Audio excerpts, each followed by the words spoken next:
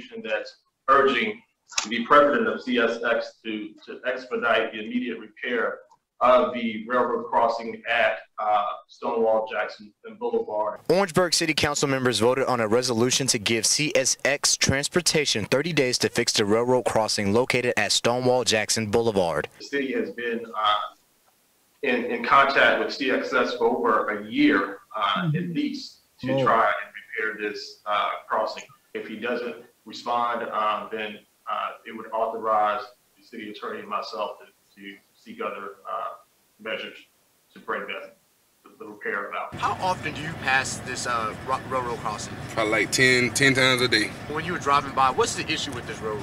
When you come when you come by here, it's so many potholes and about to tear your car up every time you come past it. News 19 reached out to CSX multiple times regarding a completion date for repairs.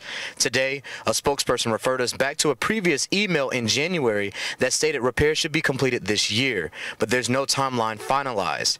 Residents say they hope some action is taken soon because some drivers say they have to drive on the curb to get across the track. When you cross in there, you're trying to slow down. It take you about 10 seconds to come across the hump, and another car be coming across the hill, coming fast, and then you have to speed up, about to tear your car. For Street Squad Orangeburg, I'm Devin Johnson.